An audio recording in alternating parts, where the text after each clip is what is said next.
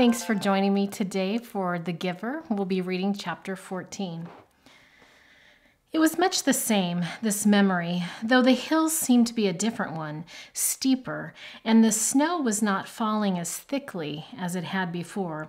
It was colder, also, Jonas perceived. He could see as he sat waiting at the top of the hill that the snow beneath the sled was not thick and soft as it had been before, but hard and coated with a bluish ice. The sled moved forward, and Jonas grinned with delight, looking forward to the breathtaking slide down through the invigorating air.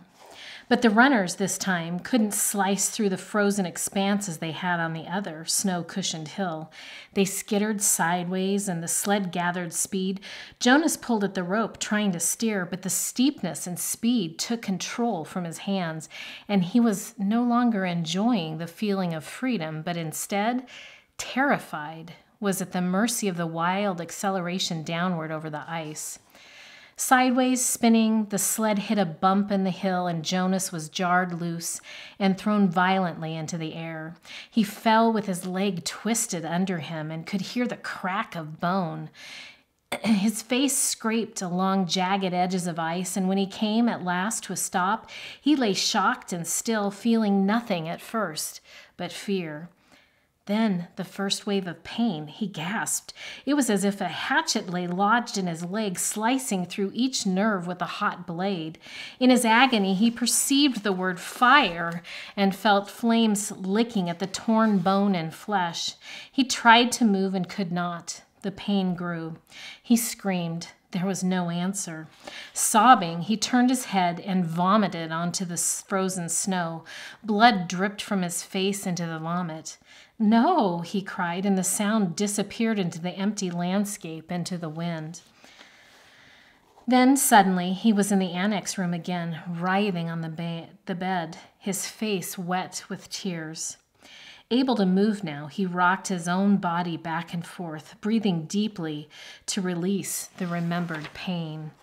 He sat and looked at his own leg, where it lay straight on the bed, unbroken. The brutal slice of pain was gone, but the leg ached horribly still, and his face felt raw. May I have relief of pain, please? he begged. It was always provided in his everyday life for the bruises and wounds for a mashed finger, a stomach ache, a skinned knee from a fall from a bike. There was always a daub of anesthetic ointment or a pill, or in severe cases, an injection that brought complete and instantaneous deliverance. But the giver said no and looked away. Limping, Jonas walked home, pushing his bicycle that evening. The sunburn pain had been so small in comparison and had not stayed with him, but this ache lingered. It was not unendurable as the pain on the hill had been. Jonas tried to be brave. He remembered that the chief elder had said he was brave. Is something wrong, Jonas? his father asked at the evening meal. You're so quiet tonight. Aren't you feeling well? Would you like some medication? But Jonas remembered the rules no medication for anything related to his training, and no discussion of his training. At the time for sharing of feelings, he simply said that he felt tired, that his school lessons had been unusually demanding that day. He went to his sleeping room early, and from behind the closed door, he could hear his parents and sister laughing as they gave Gabriel his evening bath. They have never known pain, he thought. The realization made him feel desperately lonely, and he rubbed his throbbing leg. He eventually slept. Again and again he dreamed of the anguish and the isolation on the forsaken hill.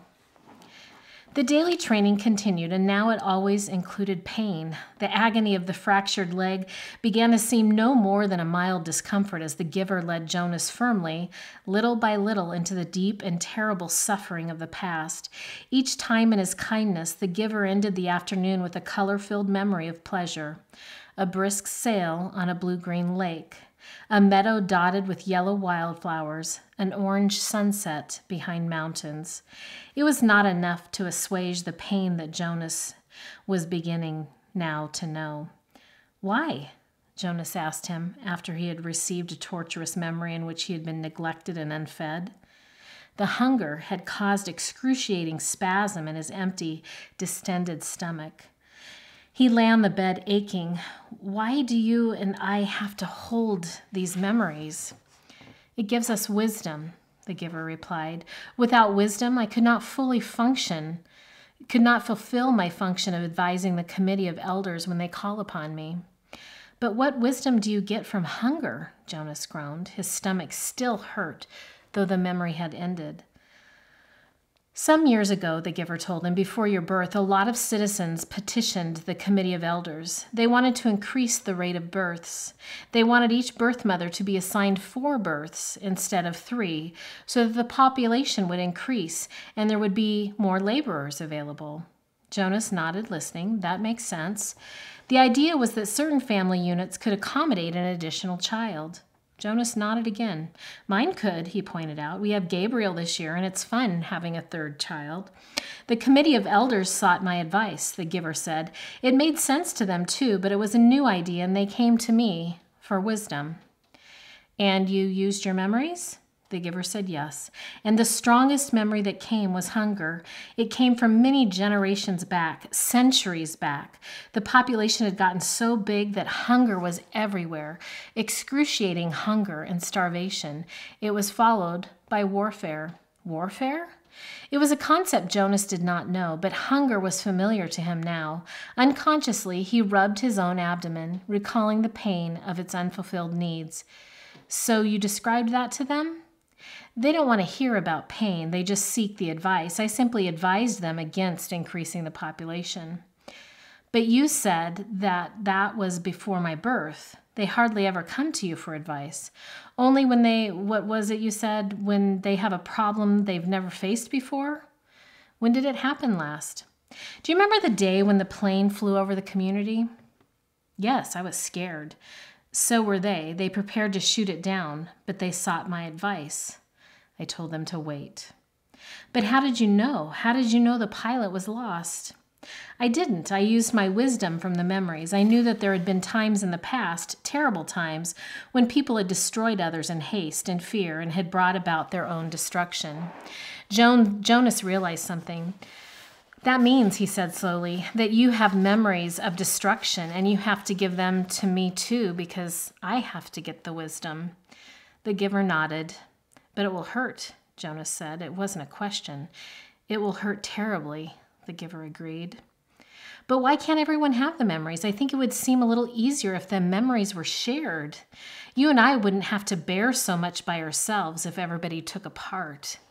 The giver sighed. You're right, he said, but then everyone would be burdened and pained. They don't want that. And that's the real reason the receiver is so vital to them and so honor, honored. They selected me and you to lift that burden from themselves. When did they decide that? Jonas asked angrily. It wasn't fair. Let's change it. How do you suggest we do that? I've never been able to think of a way, and I'm supposed to be the one with all the wisdom. But there are two of us now, Jonas said eagerly. Together we can think of something.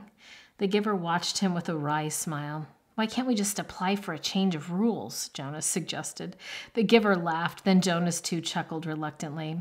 The decision was made long before my time or yours, the giver said, and before the previous receiver, and he waited. Back and back and back, Jonas repeated the familiar phrase. Sometimes it had seemed humorous to him, sometimes it had seemed meaningful and important. Now it was ominous. It meant he knew that nothing could be changed. The new child, Gabriel, was growing and successfully passed the tests of maturity that the nurturers gave each month. He could sit alone now, could reach for and grasp small play objects, and he had six teeth. During the daytime hours, father reported he was cheerful and seemed of normal intelligence, but he remained fretful at night, whimpering often, needing frequent attention. After all this extra time I put in with him, father said one evening after Gabriel had been bathed and was lying for the moment, hugging his hippo placidly in the small crib that he had replaced the basket. I hope they're not going to decide to release him. Maybe it would be for the best, Mother suggested. I know you don't mind getting up with him at night, but the lack of sleep is awfully hard for me. If they release Gabriel, can we get another new child as a visitor? asked Lily. She was kneeling beside the crib, making funny faces at the little one who was smiling back at her. Jonas's mother rolled her eyes in dismay. No, father said, smiling. He ruffled Lily's hair. It's very rare, anyway, that a new child's status is as uncertain as Gabriel's. It probably won't happen again for a long time.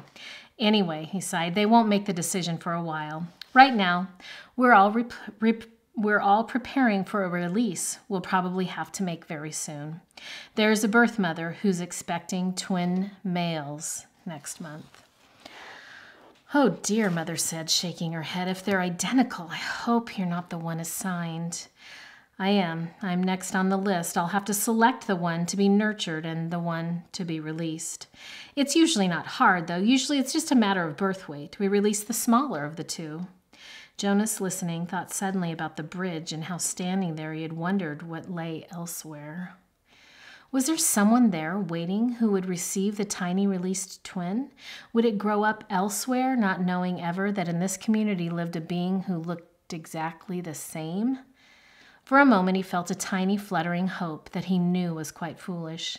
He hoped that it would be Larissa waiting. Larissa, the old woman who he had bathed. He remembered her sparkling eyes, her soft voice, her low chuckle. Fiona had told him recently that Larissa had been released at a wonderful ceremony. But he knew that the old were not given children to raise. Larissa's life elsewhere would be quiet and serene as befit the old. She would not welcome the responsibility of nurturing a new child who needed feeding and care and would likely cry at night. Mother, father, he said, the idea coming to him unexpectedly, why don't we put Gabriel's crib in my room tonight? I know how to feed and comfort him, and it would let you and father get some sleep. Father looked doubtful. You sleep so soundly, Jonas. What if his restlessness didn't wake you? It was Lily who answered that. If no one goes to tend Gabriel, she pointed out, he gets very loud. He'd wake all of us up if Jonas slept through it. Father laughed. You're right, Lily Billy. All right, Jonas, let's try it, just for tonight. I'll take the night off and we'll let Mother get some sleep too. Gabriel slept soundly for the earliest part of the night. Jonas in his bed lay awake for a while. From time to time, he raised himself on one elbow, looking over at the crib. The new child was on his stomach, his arms relaxed beside his head, his eyes closed, and his breathing regular and undisturbed. Finally, Jonas slept too. Then, as the middle hours of the night approached, the noise of Gabe's restlessness woke Jonas. The new child was turning under his cover, flailing his arms and beginning to whimper. Jonas rose and went to him. Gently, he patted Gabriel's back. Sometimes that was all it took to lull him back to sleep, but the new child still squirmed fretfully under his hand. Still patting rhythmically, Jonas began to remember the wonderful sail that the giver had given him not long before. A bright, breezy day on a clear turquoise lake, and above him the white sail of the boat billowing as he moved along in the brisk wind. He was not aware of giving the memory, but suddenly he realized that it was becoming a dimmer, but that it was becoming dimmer, that it was sliding through his hand into the being of the new child. Gabriel became quiet. Startled, Jonas pulled back what was left of the memory with a burst of will. He removed his hand from the little back and stood quietly beside the crib. To himself, he called the memory of the sail forward again. It was still there, but the sky was less blue, the gentle motion of the boat slower, the water of the lake more murky and clouded. He kept it for a while, soothing his own nervousness at what had occurred. Then he let it go and returned to his bed. Once more, toward dawn, the new child woke and cried out. Again, Jonas went to him. This time, he quite deliberately placed his hand firmly on Gabriel's back and released the rest of the calming day on the lake. Again, Gabriel slept. But now Jonas lay awake, thinking. He no longer had any more than a wisp of the memory, and he felt a small lack where it had been. He could ask the giver for another sail, he knew, a sail perhaps on an ocean next time. For Jonas had a memory of ocean now and knew what it was like. He knew that there were sailboats there too, in memories yet to be acquired. He wondered, though, if he should confess to the giver that he'd given a memory away. He was not yet qualified to be a giver himself, nor had Gabriel been selected to be a receiver. That he had this power frightened him he decided not to tell. That's the end of chapter 13.